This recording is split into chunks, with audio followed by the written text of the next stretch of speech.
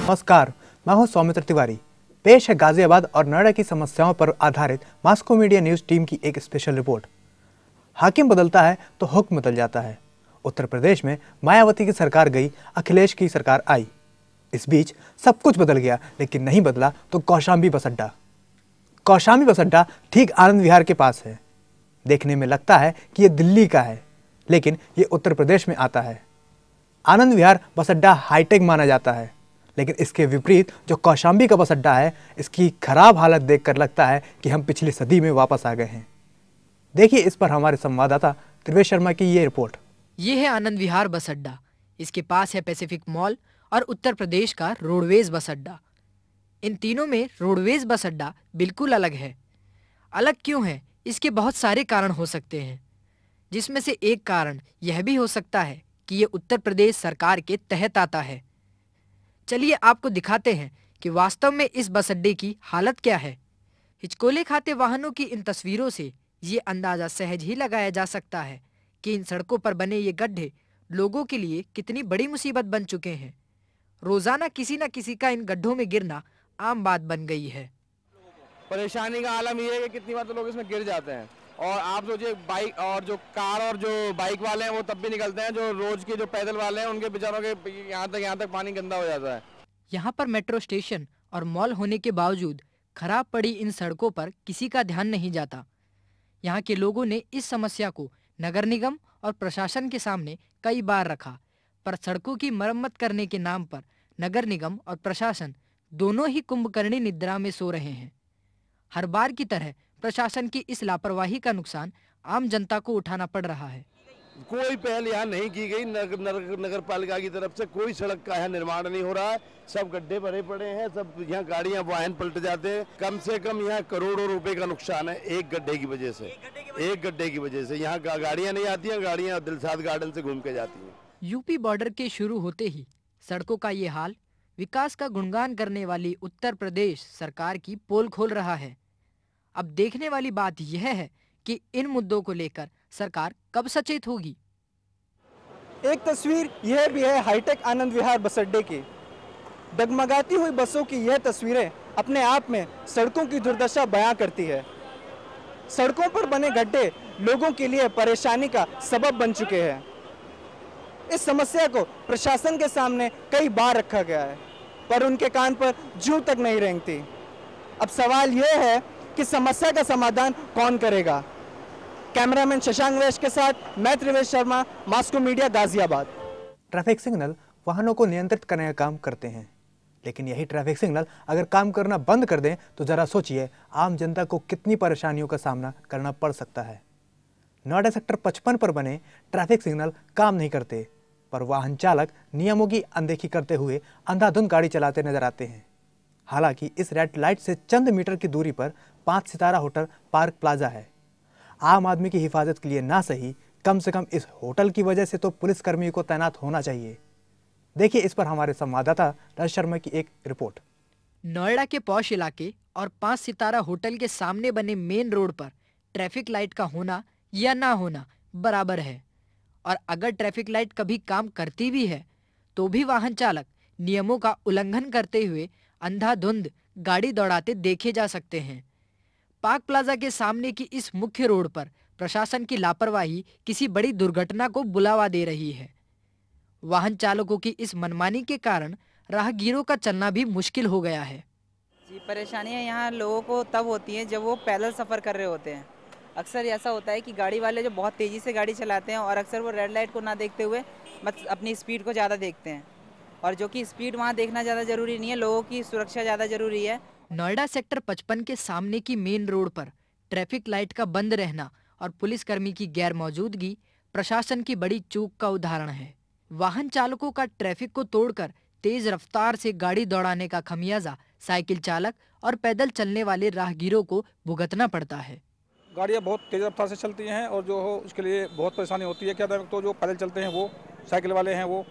Motorcycle और car वाले तो बहुत तेज़ गाड़ी चलाते हैं उसमें तो कोई एक्सीडेंट तो डेली होते ही है बहुत ज़्यादा। बड़ी परेशानी होती है जनता को आम जनता को। जब नोएडा के पौष इलाके में लापरवाही का ये आलम देखा जा सकता है तो आप इसका अंदाज़ा तो लगा ही सकते हैं कि नोएडा के बाकी इलाके कितने सुरक्षित होंगे। सेक्टर 55 के पार्क प्लाजा के सामने बनी मेन रोड पर ट्रैफ़िक पुलिस की नामौजूदगी यहाँ की कई समस्याओं का कारण है। यहाँ हर समय वाहन चालक ट्रैफ़िक नियमों का उल्लंघन करते हुए अंदाजन गाड़ी दौड़ाए देखे जा सकते हैं। जिसके कारण यहाँ हमेशा दुर्घटना का खतरा बना रहता है। अब सवाल यह है कि प्रशासन किसी बड़ी दुर्घटना घटने पर सचेत होगा। कैमरामैन शशांक वैश के साथ मैं रजत शर्मा, मास्को मीडिया, नोएडा। कहा जाता है कि नोएडा को एक विदेशी शहर की तर्ज पर बसाया गया है, लेकिन नोएडा सेक्टर 10 की सड़कों की यह हालत इस बात को सोचने पर मजबूर कर देगी कि आखिर इस बात में कोई सच्चाई भी है। यहाँ पर बिखरे हुए पत्थर अब आने जाने वाले लोगों के लिए परेशानी का कारण बने हुए हैं। ऐसा लगता है कि ना ये सड़कें बनेंगी और ना ये पत्थर हटेंगे। पेश है हमारे संवाददाता कुमार संभव की ये विशेष रिपोर्ट। यहाँ पर रह रहे लोगों ने इस समस्या को नगर निगम के सामने कई बार रखा पर नगर निगम और प्रशासन की सुस्ती के सामने लोगों की तमाम कोशिशें नाकाम रही। ये जो जितना भी अब हो रहा है साढ़े चार पाँच महीने से पूरे सेक्टर दस की जितनी भी गलियाँ हैं सब खुद ही पड़ी हैं। बनाने को राज़ी नहीं है ना तो बिल्लो आता डेली मिट्टी डाल के चले जाते हैं। आप खुदाई कर दो, खुदाई पड़ी है, उसे देख लो। उसके बाद में जो हमसे उसे, हमसे कह दो, नहीं, आप करो। प्रशासन ने इस सड़क पर पत्थर तो फैला दिए, लेकिन इसका निर्माण करना भूल गया। अब यही पत्थर जब गाड़ी के टायरों के नीचे आते हैं तो बंदूक से निकली गोली की तरह छूटते हैं और लोगों को चोट पहुंचाते हैं। बारिश के वक्त यहाँ हादसे भी होते हैं, तथा उनके होने की आशंका भी बनी रहती है।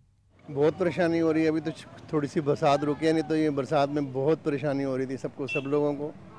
यहाँ करीब करीब छः छः इंच आठ आठ इंच पानी खड़ा हो जाता है और रोड भी इतनी धूल उड़ती है कि सांस लेना ही मुश्किल हो जाता है यहाँ पे हमारे सड़क निर्माण के लिए प्रशासन द्वारा रोड़ी पत्थर तथा अन्य सामान लाया तो गया लेकिन ये पत्थर बता रहे हैं कि शायद प्रशासन से इनका कोई वास्ता नहीं है।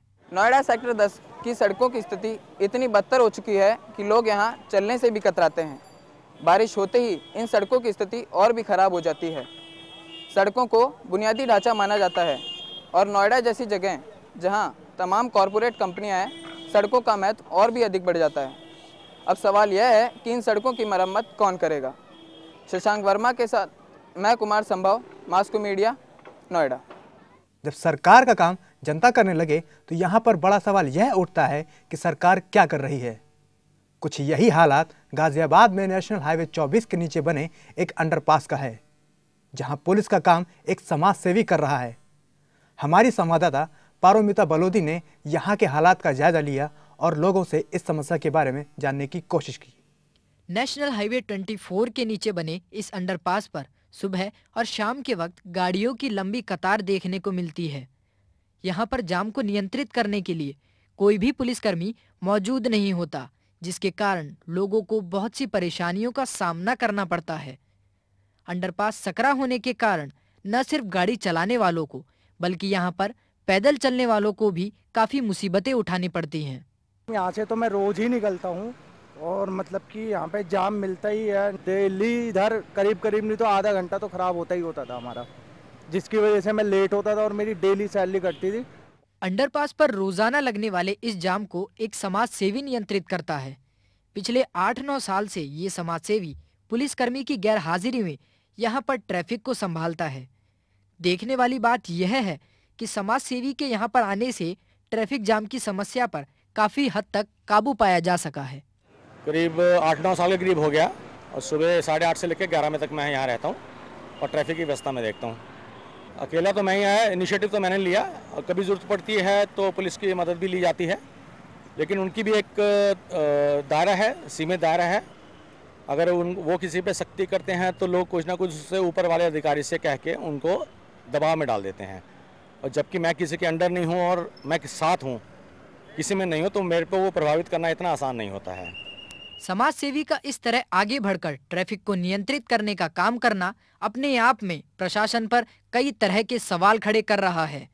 गाजियाबाद के इस बिज़ी रूट पर ट्रैफ़िक पुलिस का ईद का चाँद होना पुलिस प्रशासन की कार्यशैली पर प्रश्न चिन्ह खड़ा करता है। यह है नेशनल हाईवे 24 के नीचे का एक अंडरपास जो कि इंदिरापुरम को नोएडा से जोड़ता है। यहाँ की हालत क्या है, सहज ही देखा जा सकता है। यहाँ ट्रैफ़िक पुलिस का कोई भी कर्मी मौजूद नहीं होता, जिसके कारण यहाँ सुबह शाम के वक्त गाड़ियों की लंबी कतार लग जाती है। यहाँ ट्रैफ़िक को कंट्रोल करने के नाम पर एक समाज सेवी रोज सुबह यहाँ खड़ा होता है। आखिर कब तक इन जैसे समाज सेवी आगे बढ़कर इस तरह पुलिस का कार्य करते रहेंगे? कैमरामैन शशांक वर्मा के साथ मैं Paramita Balodi, Moscow media, Ghaziabad. College को विद्या का मंदिर माना जाता है। अगर उसी कॉलेज के सामने कूड़े कचरे का ढेर लगा हो तो वहाँ पढ़ने वाले छात्रों की मनोस्थिति क्या होगी, समझा जा सकता है। यह सब है नोएडा के सेक्टर बासठ स्थित जेएसएस कॉलेज के सामने का हाल, जिसे हमारे संवाददाता शशांक वर्मा ने कैमरे में कैद किया। नोएडा के विख्यात जेएसएस कॉलेज के सामने की खाली पड़ी ज़मीन अब कूड़े के ढेर में तब्दील होती जा रही है। हालात यह हो गए हैं कि कूड़े की फैलती बदबू के कारण अब लोगों ने यहाँ से निकलना भी बंद कर दिया है। दिन ब दिन बढ़ता यह कूड़ा अब सड़कों पर भी आने लगा है। अब आलम यह है कि यहाँ पर रह रहे लोगों के लिए यह कूड़ा बीमारी पैदा कर रहा है, जिसके चलते यहाँ पर महामारी का खतरा बना हुआ है। हम लोग गाड़ियाँ चलाते हैं तो बहुत ज़्यादा दिक्कत आती है। सवारी हमसे बोलती है कि बदबू आ रही है, बहुत ज़्यादा बदबू आ रही है। पर हम लोग क्या करें, हम लोग खुद परेशान रहते हैं। हाँ गाड़ियों को भी निकलने में भी दिक्कत सबसे ज़्यादा होती है। रोड पे कचरा आ जाता है, पानी भर जाता है तो कचरा सबसे ज़्यादा आएगा। तो सवारी बोलती है हमसे, भैया, ये क्या है? तो हम सवारी से खुद बोलते हैं, भैया, आप ही करो इसका संशोधन। अब ये तो ट्रक वाले हैं, डाल जाते हैं, बाहर की गाड़ियाँ लेके आते हैं, डाल जाते हैं। सेक्टर बासठ की ये ज़मीन कूड़ा डालने के लिए अधिकृत नहीं है। फिर भी यहाँ पर रोज़ाना अवैध रूप से भारी मात्रा में कूड़ा डाला जा रहा है। रोज़ाना बढ़ते कूड़े के कारण पर्यावरण भी दूषित हो रहा है। कॉलेज प्रशासन ने इस समस्या को खत्म करने के लिए कई बार पहल की, लेकिन बताया जा रहा है कि नगर निगम ने इस समस्या के समाधान के लिए कोई भी सक्रियता नहीं दिखाई है। बहुत प्रॉब्लम्स होती हैं, जैसे कि इस कूड़े की वजह से गंदी स्मेल है अनहाइजीनिक है। मतलब सड़कों के किनारे आप देखो स्ट्रीट फूड्स लगा रहता है तो उस हिसाब से भी अनहाइजीनिक है। खाने की चीज़ें उसके साइड में होती हैं, जब भी हवा हवा चलती है तो ये सब चीज़ें उड़ के मतलब फ़ूड वूड में आ जाती हैं। तो इस और जब भी आंधी वांधी आती है तो ये मतलब सारा और जितनी भी गंदगी है इससे मच्छर वच्छर सब मतलब बनते रहते हैं तो इस तरह से बहुत अनहाइजीनिक है ये सब कुछ। वगैरह भी बहुत रहती बहुत रहती है। है और कोई परेशानी जो ये कूड़ा करकट प्रशासन को इसके लिए कदम उठाना चाहिए बिकॉज़ हम लोग जो हमारे पेरेंट्स लोग हैं जो भी जॉब वर्कर्स हैं एक अच्छा खासा इनकम टैक्स पे करते हैं इन सब चीज़ों के लिए। तो ये प्रशासन की ज़िम्मेदारी बनती है कि कूड़ा करकट जो भी है इसका प्रॉपर मेंटेनेंस किया जाए। प्रशासन की तरफ़ से अब तक कोई भी ऐसा कुछ भी नहीं हुआ। आप देख सकते हो उधर पूरी हालत। कितना कूड़ा और कितना ढेर पड़ा हुआ है उधर साइड में। अगर कोई एक्शन लिया होता तो ये कब का कम हो गया होता। और कम होने की बजाय रोज़ के रोज़ सिर्फ़ बढ़ रहा है। श्री विनायक मंदिर के सामने का यह दृश्य ग्रीन नोएडा क्लीन नोएडा अभियान को सवालों के घेरे में ला करके खड़ा कर देता है। नोएडा में खाली पड़ी जगह अब कूड़े के ढेर से भरती जा रही है। कुछ यही हाल नोएडा सेक्टर बासठ में बने जेएसएस कॉलेज और उसी के अंदर बने श्री विनायक मंदिर के सामने का है, जहाँ कूड़े का ढेर सड़क पर आ गया है और इसी की बदबू की वजह से लोगों का आना जाना मुश्किल हो गया है। मल्टीनेशनल कंपनीज़ के सामने बनी इस रोड पर कोई चलना तक पसंद नहीं करता। देखने वाली बात यह होगी कि कॉलेज प्रशासन और नोएडा अथॉरिटी इस समस्या को लेकर कितना गंभीर हैं। कैमरामैन शशांक वैश के साथ, शशांक वर्मा, मास्को मीडिया, नोएडा। नोएडा में अतिक्रमण दिन ब दिन अपने पाँव पसारने में लगा है, जिसकी वजह से विकास की बढ़ती रफ्तार पर ब्रेक लग गया है। लोग अपनी दुकानों को सड़कों तक ले आए हैं, जिसके कारण लोगों को ट्रैफ़िक जाम की समस्या से जूझना पड़ता है। ये स्थिति सुबह से शाम यानी हमेशा बनी रहती है। हमारे संवाददाता ने पूरी स्थिति की पड़ताल की। पेश है इस पर हमारे संवाददाता नवीन शर्मा की विशेष रिपोर्ट। ये सड़क नोएडा की सबसे व्यस्त रहने वाली सड़कों में से एक है। जो लोगों को बारह बाईस से सेक्टर पंद्रह मेट्रो स्टेशन तक पहुंचाती है। यहाँ दिन भर वाहन चलते नज़र आते हैं। पर अब ये सड़क भी अतिक्रमण के कारण छोटी हो गई है। यहाँ के दुकानदारों ने सड़क तक अपनी दुकानें निकाल रखी हैं। सड़क वन वे होने से यहाँ अक्सर वाहन जाम में फंसे रहते हैं। उनका पंद्रह मिनट का सफ़र आधे घंटे में भी पूरा नहीं हो पाता। सालों से ये दुकानें रोड पर ही सजी हुई है। जो लोगों की परेशानी बढ़ा रही है। बहुत सी दिक्कतों का सामना करना पड़ता है क्योंकि सब्ज़ी बेचने वालों के से ज़्यादा परेशानी होती है। और रोड पर लगा लेते हैं और फिर जाम हो जाता है रोड। कितने कितने घंटे तक यहाँ पर कम से कम आठ नौ बजे तक तो जाम लगा ही रहता है। छोटी सी दिख रही इस अतिक्रमण समस्या ने यहाँ पर दुर्घटना का खतरा भी बढ़ा दिया है। यहाँ रोज़ाना लगने वाले जाम को संभालने के लिए पुलिस प्रशासन ने कोई भी पुलिसकर्मी मुस्तैद नहीं किया है। ऐसा लगता है कि नगर निगम को किसी बड़े हादसे का इंतज़ार है तब जाकर नगर निगम हरकत में आएगा। परेशानी तो यही है आना जाने में दिक्कत होती है और यहाँ पे जाम इसी वजह से लगता है अब तो इधर तो पार्किंग होगी फिर यहाँ पे ठेली वैली सब्ज़ी वब्जी के से बाजी दफ़े हमें सेक्टर पंद्रह के लिए सोलह के लिए जाना होता है तो इसमें काफ़ी टाइम लग जाता है। समस्या है तो समाधान भी है लेकिन लगता है इस समस्या का शायद कोई समाधान ही नहीं है। स्थानीय लोगों की मुस्तैदी की वजह से प्रशासन सक्रिय होता तो है, लेकिन कोई काम आगे नहीं बढ़ पाता और नतीजा वही ट्रैफ़िक जाम। सेक्टर 15 की ओर जा रही इस सड़क पर जब आप वाहन चलाना शुरू करेंगे तो महज कुछ मीटर की दूरी तय करते ही आपके वाहन की रफ्तार धीमी पड़ने लगेगी, जिसकी वजह यहाँ पर बढ़ता अतिक्रमण है। अतिक्रमण की वजह से यहाँ पर सुबह से लेकर शाम तक वाहन चीटी की तरह रेंगते नज़र आते हैं। अब सवाल ये है कि नोएडा अथॉरिटी इस अतिक्रमण समस्या से कब तक मुँह फेरती रहेगी? कैमरामैन शशांक वर्मा के साथ मैं नवीन शर्मा, मास्को मीडिया, नोएडा। यह थी नोएडा और गाजियाबाद की समस्याओं पर आधारित हमारी स्पेशल रिपोर्ट। अगले हफ़्ते फिर हाजिर होंगे नई समस्याओं के साथ। तब तक की तमाम बड़ी खबरों के लिए देखते रहिए मास्को मीडिया न्यूज़। नमस्कार।